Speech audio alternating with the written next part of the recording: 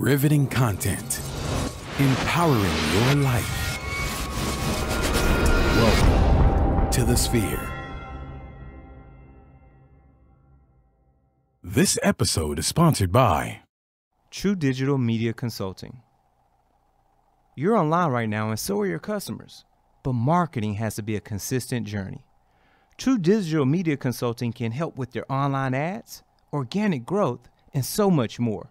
Contact us today at 832 934 4436 or visit our website at truedigitalmediaconsulting.com. Looking to advertise? Join the Sphere's vast demographic reach of thousands of people all over the world. Send an email today to advertise at thesphere.tv or call us at area code 832 772 7789. KOG and Company. Are your unique gifts and talents changing the world? Do you desire to belong to a community of unity? Visit KOGPassion.com to learn more about the Unleash Your Dopeness movement.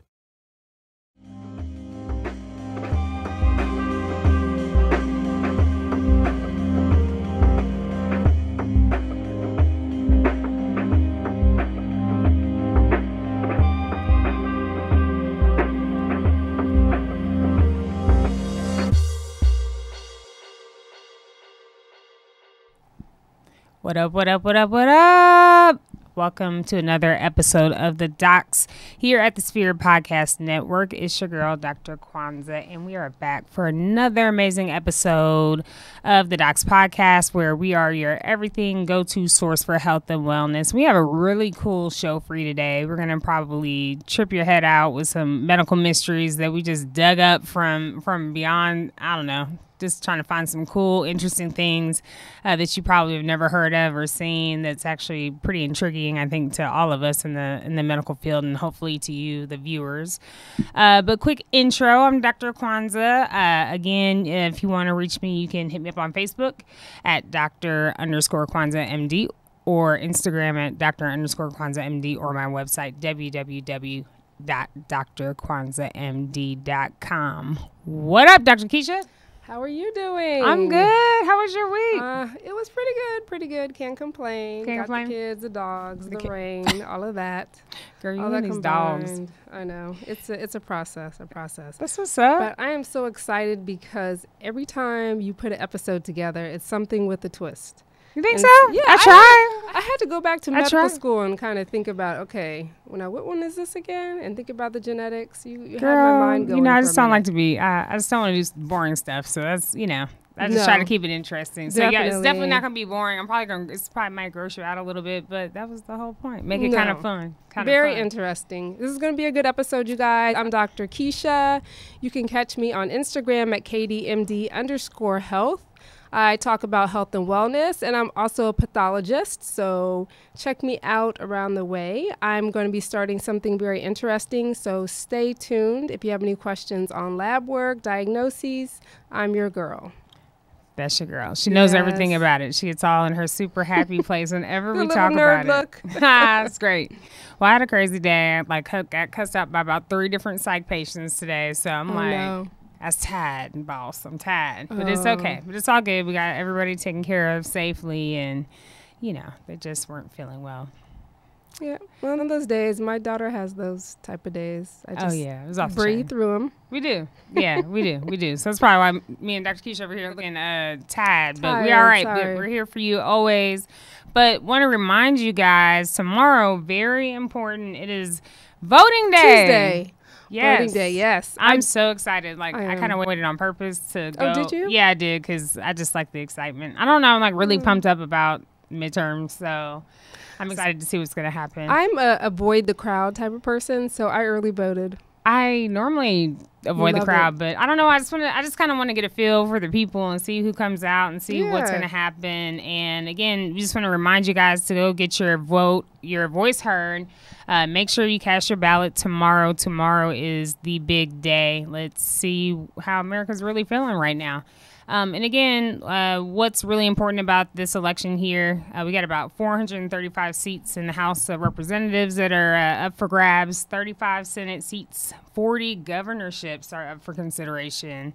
And uh, I think overall, this is just going to be a real testament to how people are feeling about this uh, Trump administration, however you fall on that.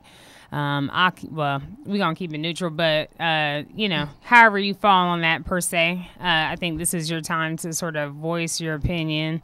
Uh, and definitely on this show, we want to make sure we encourage you all to go out and exercise and, and use your opportunity to make your voice count and heard. And really, this this uh, midterm is interesting because it is a lot about uh, women voters, Yeah. especially after the Brett Kavanaugh hearing, um, who's just confirmed for um, uh, for what is that? The Supreme. Supreme Court Justice. Um, and then also about how people are feeling about immigration, uh, given we have this uh, big caravan from Central America pushing their way to the border. Um, so I think it's going to really shed a lot about say a lot about what people are feeling in the country. And then also let's not forget uh, the affordable care act which is uh, which thankfully did not get repealed last year uh, for those who are interested in health care but you know probably have a lot of things to do economically with that. So Very again go and get your voice heard. So Very important. Yeah, good. yeah i'm Good. excited The about Affordable Care Act very important because preventative health care is important. yes But unfortunately, like some of the things you're talking about today, some diseases are not so preventable. I True. guess very true these medical mysteries. Very true. Right. So we're about to get into some medical conditions that have stumped the docs. So you want to put that first? This is almost like a? Halloween type. It is kind of dark. I'm sorry. I'm sorry. It's kind of dark. You got a picture up there. Interesting. Okay, wow. Okay, so Mm-hmm. again, you know what? Some of this is also about, you know what, being grateful. Being grateful that you are not afflicted with some of the conditions that we know can happen to people. And this this is called Stone Man syndrome. Uh, the long technical name would be fibrodysplasia ossificans progressiva. So try to say that Good five job. times. Thank you. So this is actually a genetic disorder, and if you sort of look at the the bone structure, right, you see we have normal skeleton there, and then you have bone that's kind of dispersed all throughout, you know, everywhere. And uh, the basic mutation here is in a gene, and what typically tends to happen is that uh, this particular gene found in the bones, the muscle, and the tendons. It regulates the normal growth uh, from cartilage and normal development into bone in kids. And when this gene gets mutated, essentially what happens is it disrupts that normal cycle and it's always stimulated. So basically, it doesn't have like the little stop feature on there to say, hey, you're doing too much. You're doing too much. Time to slow down. Time, time to chill out. Time to stop creating bone growth. And it just keeps going and going and going.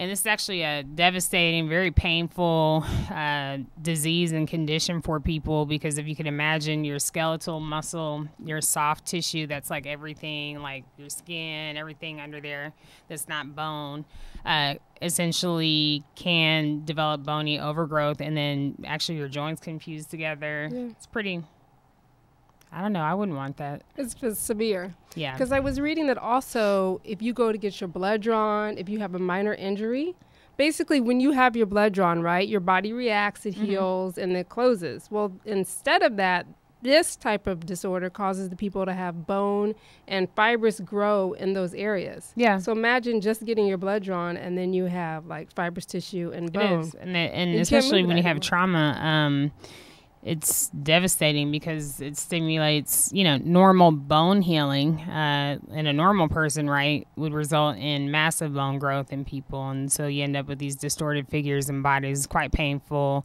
and overall probably just not a pleasant condition. But what I like to say to that, you know, big, you know, lots of love to anybody suffering with that. Um, you know, most of the time it's just palliative treatment to try to cut down some of the bone, but it's also destructive at the same time because it can cause bone formation again. But that is the Stone Man syndrome. I don't want it. No. I don't want it. I don't want it. Uh, what we have up next? Oh, this one was really cool. Okay, so have y'all ever heard of this thing called walking corpse syndrome? Have you heard of that? No. Okay, so I it's probably know the, the correct terminology, but I don't really know the.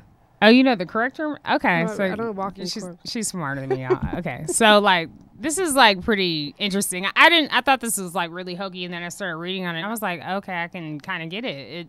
So basically, people with walking corpse syndrome, um, they basically have a disassociation from themselves, in which they can perceive or believe that they're actually dead. They actually do not recognize. Uh, parts of their own body. They can also not recognize their own face. It, it technically falls into uh, the somatic uh, disorders, and uh, if we go into the DSM 4, which is like the psychiatric Yeah. textbook. Um, but I mean, really and truly, it's a mental condition in which people believe they're missing body parts, like their brain. They actually believe that they're dead. Uh, they walk around not eating, spending time in cemeteries, and they just have a desire to be around other people that are dead.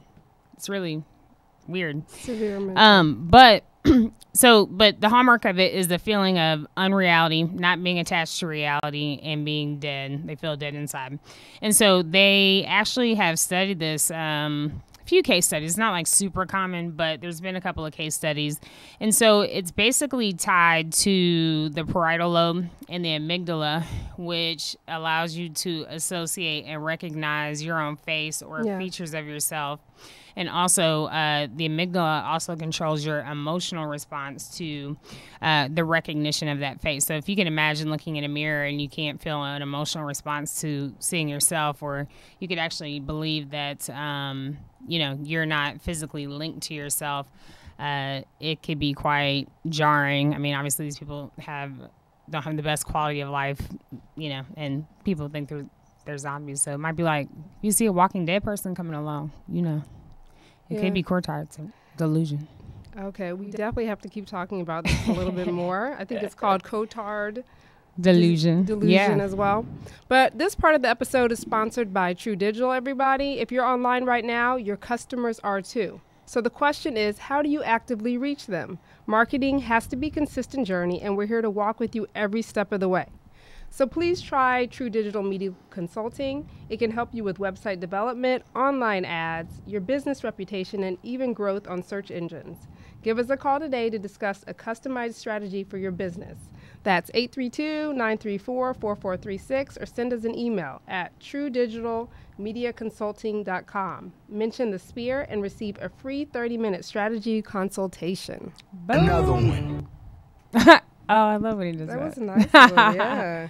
Um, one last thing about uh, Cotard's delusion um, is that this one actually you can get some treatment, so that's a really good thing. So um, they uh, psychiatrists have sa- found some improvement with antidepressants, antipsychotics, mood stabilizers, and electroconvulsive shock therapy. Yeah. And I think this one also they said that it can be with other disorders. So Correct. if someone has this, it's either, you know, something that just happened de novo, or do they have a brain tumor, or do they have an infection in that area of the brain? So you have to get checked out. I mean, it's kind of interesting though. I think the point to all these conditions is it's just really interesting what the human body can do uh, when it's working beautifully, and also when not so it's not Yeah. working beautifully. But uh, it's interesting nonetheless. I mean, kind of. That's a very interesting one. Uh, what else we have up? Oh yeah, vampire syndrome. So I don't think this is actually a really nice fair term because I feel like people who have uh, xeroderma pigmentosum, like Yeah. they're suffer, man. So And yeah, that's why I don't like some of the, Yeah, the common terms that they use Yeah. for that. So, uh, yeah. So this is a picture of somebody who ha- is afflicted with uh, xeroderma pigmentosum, called vampire syndrome. But I don't like that name, so we're just gonna stick with the with the medical term. And this is actually a really uh, life-threatening and severe disease process that affects about one in one million people. And essentially, you have a severe sensitivity to UV light rays. So that means that if you go outside into the sunlight, you would be affected more than the general population, and even to an extreme degree, uh, by UV sunlight. And this is how it would appear: uh, massively severe burns. So, like where you would, you know, you might walk outside and normally get like a little sunburn And, in people who suffer from xeroderma pigmentosum, they get massively burned. Um, they have an increased risk for skin cancer, Um, and then also complete skin breakdown. And also, you can see it's affected his eyes. His conjunctiva looks irritated and red. I mean, he just looks miserable. I mean, I think pretty devastating uh, disease. And So this one is actually inheritable. Yep. I think the other ones were genetic, but not so much. Um, oh, I didn't know it was inheritable. Yeah, no, so no. it's autosomal recessive. Okay. So if you remember back to school, you've got these two genes, right? In order to get this, the person who's giving, you have to get both of the bad genes. So Right. either you're basically getting it from someone who's infected Mhm. automatically, or someone both your parents were carriers for it. That's crazy. Yeah. But that's why genetic testing is important. It I'm gonna Get all that done. Okay. Um, It is. the only you know kind of good thing here is that uh, well, no, there's not really any good treatment actually for this. Um, It's protective, right? yeah, just but the problem is care. that even in the daytime, you're getting some amount. Even in the car, you're getting exposure to UV. Yeah.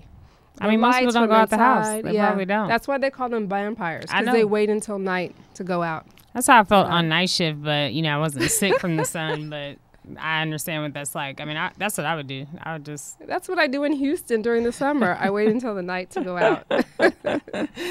but anyway, so much love to those with xeroderma pigmentosum. It's only one in a million, but it can happen. It can happen. well, um, there's a couple more, isn't there? But I think we need to do end Facebook Live. So you guys Aw. have to catch us. Please subscribe. We're going to grow. We're going to get input from you so that we can make sure our shows are better and continue to have good information for you. So subscribe to our show on all the platforms. We've got iTunes, we've got SoundCloud, Google Play, and Stitcher.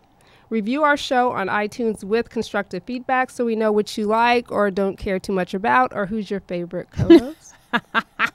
uh, shade. yeah. right. share this live post and please share the entire show with your family and friends and donate to our mission. In order to keep it going and get this inspired content each week, you can donate at thesphere.tv slash donate. All right. Nice. Goodbye, everyone. Oh, peace out, y'all. Bye. Okay. All right. So the next one's pretty cool. Uh, well, let me stop saying cool. It's it's an interesting cool scientific, sense, yeah, yes. scientific sort Yeah. of study of the human body. I don't, you know, I'm not trying to make light of anyone. So uh, this is a really interesting case. Um, there's probably only about five, I want to say five to six actual cases of uh, syndrome X disease. And probably the person who's most um, recognized or probably has brought, you know, any sort of media attention to syndrome X is a patient by the name of Brooke Greenberg. And Brooke Greenberg passed away at the age of 20. So the interesting thing about Brooke Greenberg is that she did not age, and so you can see in this picture she looks about like six months old, six so to eight almost the old. opposite of progerios where they Right. look very old Mm-hmm. Right. very fast. So uh, the interesting thing, so you know, she basically had a lot of congenital problems that started at Mm-hmm. birth. I mean, she had surgery. I think she had a gastric uh, ulcer that ruptured. They thought she had a brain tumor. So she had a lot that happened in the early part of her life uh, that you know sort of stunted her development and sort of prolonged the recognition of how severe her her case or her her disease process was. But just to put it in perspective, between the ages of five and six years old, she basically stopped growing completely. Like she didn't grow anymore. Um, and at the age of eight years old, she was basically the size of a six month old infant. If you can imagine, Wow. like how tiny that is, how small that is. And uh, when she died at the age of 20, basically she had the mental age and the natural development of about a one year old, uh, which is crazy. I'm sorry, a one month old. Uh, no, no, no, it was one years old. That's a typo. I'm sorry. Um, and so when she died, she died of uh, basically due to respiratory problems um, uh, called bronchi- bronchiomalacia. Uh, and basically, that's when your cartilage in your lungs get weak and you're not strong enough to kind of breathe on your own anymore.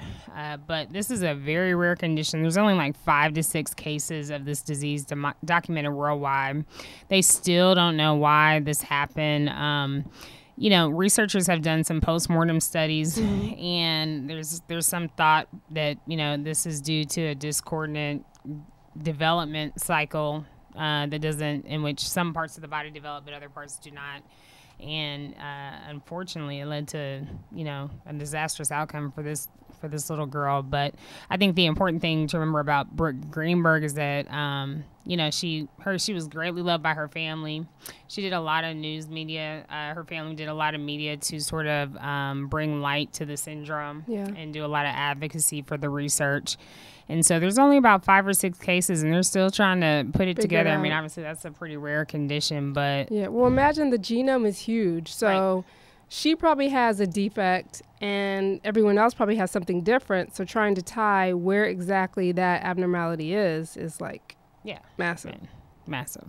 So, um, but that's Interesting. Book Brooke Greenberg. So that was a pretty interesting case, and I think I was just more so shocked to see like her size. Like it's interesting if you go through and you kind of research a little bit, and you actually go through like her whole history and Mm-hmm. just see her progression. It is weird to see a twenty like someone who's twenty years old Look like a y- baby. Yeah, looking like a baby. I mean, it's pretty trippy. Does she speak well? No. She's about the developmental age of a one year old. Oh, so she can make sounds, kind of point, but you know, I nothing see. really beyond that. Nothing beyond that. Uh, where we at? Oh, Tree Man. Okay, this is just something I put the in here tree to man. kind of gross this y'all is a, definitely a Halloween. yeah, can we show Tree Man? Oh, oh, Tree Man. You know what? This is one of those things that you know I saw this and I was like, this is hokey. I'm not going to talk about it. But then I kind of read up on it a little bit more, and I was like, well, it's actually pretty interesting. So, Tree Man syndrome. Again, I don't like the name, but it gets its characteristic name I from the way that like the lesions look. because it's basically something coming from the skin, the soft tissue. But it does Right. look like bark, kind of. It does. So basically, it's almost like the same virus that causes HPV Correct. that's causing these skin lesions all over their body. So it does kind of look like a tree. Right. It's just not that nice, but it No. does. But that's where it gets the name from, that characteristic appearance. Um, and again, there's not really a known cure for this condition. And like uh, Dr. Keisha said, it's basically, and this is, I didn't know this one was hereditary either. Uh, Autosomal recessive. yeah. So same thing. Yeah. yeah. So, uh, Which is a good thing because autosomal recessive means it's a harder chance to get it. But the dominant means one gene and you have that disorder. Well, thank So- goodness for recessive because Yeah. I'm sure that's very difficult to live with. But uh, like Dr. Keisha said, it is um, associated with HPV types 5 and 8. Um, also puts you at a higher risk for skin cancer. Typical age of onset is between 1 and 20 years old. Again, hereditary component. And uh, the cause is thought to be a mutation related to genes that regulate zinc, which is interesting. Okay. Uh, and so basically, um, the gene that's mutated prevents zinc from coming into the cells and restrict the viral growth. And as a result, you get this massive overgrowth of the of tissue. Uh, and really, the only real treatment, you know, they can sort of cut off some of the lesions to make you a little bit more able to function, but they grow back. They grow right back. Yeah. It looks like It's they like- take some type like of a retinoid as well. Oh yeah, read it. I did read that. Yeah, but kind of cool, Wow. kind of interesting. The things that actually people. Let's see that live with. picture one more time. The tree man. That was pretty. I have never seen that one before. Yep, that uh, Not to that um, extent, should I say? That patient is Dede Koswara, and he's in Indonesia. But there's actually a lot of cases of that if you research that. But I mean, he kind of does it well though. He kind of fly with it though. Yeah, I mean, if exactly. you gotta have the tree Mm-hmm. man syndrome, I guess. I mean, I kind of like his energy in the picture. Yeah. But uh anyway, so we only have like two more. And in Ah. fact, I feel like it's an ad time. Did we miss an ad somewhere in here? I think I feel like we yeah. did. So I always got to keep thinking about our sponsors here. So this portion of the show is sponsored by The Sphere. So are you starting your business and looking for a place to advertise? Do you have a need to reach out to thousands of people across the world to build your brand or sell your product? If so, Get your product placement and advertising needs handled right here at The Sphere. We offer a wide variety of content delivery platforms, including iTunes, Google Play, SoundCloud, YouTube, and Stitcher. Plus, we have a vast demographic reach within the United States as well as modern countries across the globe. Our enriched content and inspiring dialogue, coupled with your strategic ad, is surely to hit the mark every single time. Call us today at area code 832 772 7789 or send an email over to advertise at thesphere.tv.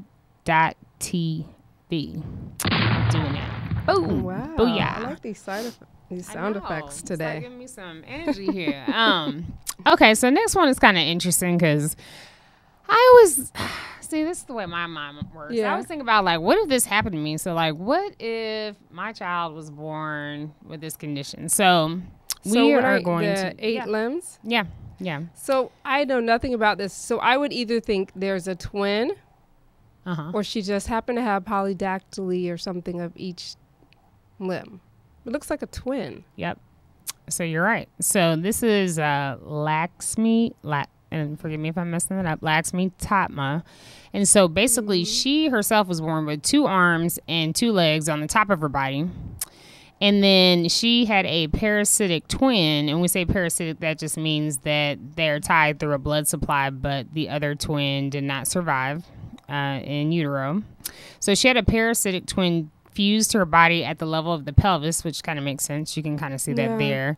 Uh, with two arms, two legs, a torso, but no head. Wow. So um, the parasitic twin stopped growing in the uterus. Um, and that's actually the only reason why that she was not born as a conjoined twin. But uh, interestingly, this is actually a, a really beautiful success success story. In 2007, about 30 surgeons spent 27 hours uh, operating on her, removing those extra limbs and uh, rebuilding her body. But what about her successful. pelvis down? She did she have intestine of her own? She had Let's- some. Oh wow. Yeah, she had some intestine of her own. Um, I think she had to have, you know, more surgeries after that, but they were able to basically fix it a little, Right. fix it at least, you know, get the bottom part kind of together. Um, but I mean, she looks good. Actually, there was Yeah. another picture. I maybe I forgot to post it in there, but it's all good. But it shows her after, like, but she looks pretty. Pretty she looks good. I mean, she used to have eight good. limbs. But uh, last but not least, this story just tripped me out, so that's why I threw it in here. And this is the story of the trapped twin. Oh, so, So similar gotta- but not too similar. Similar, but it's a little crazy in my opinion. But let's just see. Can we throw the picture up there? All right. This is Mr. Sanju So Bhagat. he became an adult. Right. So, Mr. Sanju had a very large stomach for many, many years. And never Like, decided to go. This is why healthcare is so important. thought his tummy, thought he just was, you know, thought his tummy was getting bigger. And uh, his friends teased him, his family teased him. They thought he looked pregnant. They were like, hey, like, you got a gun on you, boy. Like, I need to do some crunches. But uh, Mr. Sanju never got that checked out until the age of 36 years old. Uh, at which point his uh, abdominal girth got so big that he couldn't breathe anymore. He almost looks like a cirrhotic patient or, uh, Yeah. you know, somebody with liver disease who uh, has a lot of uh, uh, fluid in the in the abdomen. But uh, yeah, so he's got this big old belly, and so after some time, I guess it got unbearable. After 36 whole long years, and uh, he couldn't breathe, and so that's what took him to the hospital. Now, the other thing I thought was interesting about this story, they thought he just had a tumor. I guess maybe they didn't have CAT scans. I'm not sure Hmm. Where he is located, but I was like, maybe they didn't have a scanner. But you know, if you do scan this, because if it wasn't figured out when in utero, they probably did just see some mass. It's not functioning, so you just see a mass. That looks like a. I mean, but that looks like a foot. It almost looks like a straight up. teratoma or something. It, it it does. I just feel like I don't know. But long story short, so they just thought it was a tumor. They're like, ah, we'll go in there, we'll get it out. No big deal. So the surgeons went in to operate, and lo and behold, they found a whole nother fetus inside of his abdomen that had been growing along with him for 36 years. So how in the world can this happen, right? So Yeah. this actually happened inside of the uterus, well, in utero. So Mhm. basically, he had a twin. The twin actually grew into, Into his, his abdomen, uh, and Through the umbilical cord? yeah, something like Oh, that. I love it. Um, Yeah, that's the only entry. Uh, yeah, got to be the entry point, right? Yeah. So in some cases, what happens is the blood supply will get get kind of tied together essentially, and so you know, like most human tissue, as long as you're feeding it blood, oxygen, it'll grow. Wow. And essentially, for 36 years, uh, this non-viable fetus was growing inside of his his stomach. Is there an after for this? Do you have an after no, picture? I don't have an after, Wow. but it's a lot better. He But the said he's- surgery he's, feeling much better. Successful. Yeah, That's feeling good. much better. But uh, this You is a really this is a, a really rare condition. It's called fetus in fetu, and it occurs when one twin gets trapped inside the body of another twin in, while still inside the womb. Uh, usually, uh, this is fatal, uh, but Wow. uh, sometimes if you have the right vasculature, he just might have been connected up pretty good, and so it, it didn't starve him of uh, enough nutrients to kill him. Uh, and Mr. Sanju made it, and he's Wow. breathing a lot better, and his belly's a lot better. But That's um, pretty amazing. that's, what- that's what I got. This I is got. the beauty of science, though. These little things, these little things that don't happen too often, but you have to admit they're amazing. They are, And and, I was all in my little happy place, like Yeah. looking this stuff up, like, ooh, this is so I cool. know, like, how did this happen? Um, but last but not least, we got to give a big shout out to one of our favorite sponsors, which is KOG and Company. Are your unique gifts and talents changing the world? Unleash Your Dopeness is a people empowerment movement built to encourage the masses to operate outside of their fears and have the gall to recklessly pursue their dreams and passions in life. Join thousands of others as we unlock the greatness that dwells inside. Excuse me. Shop dope gear at kogpassion.com. That's kogpassion.com and use coupon code D O P E exclamation mark for 10% off exclusive Unleash Your Dopeness apparel. Act now. Sizes are selling out fast. And You know what I'm saying? You know what I'm saying? And just like that, we're done for the day. We are We keeping it short and sweet today. We just wanted to bring you some uh, interesting little tidbits This to kind of get our uh, juices going over in, in the medical world when we're getting our little nerd vibe. But uh, we hope you enjoyed it. Hope you learned a little something. Hope we, hope we brought you something intriguing And and, if you see any of these people, don't call them the tree man or, or vampire people yeah. or the Now you know the correct term. Yeah. Yeah. You can say, uh, Hi, sir, with epidermal dysplasia verrucosiformis. they gonna get it down? Y'all got it.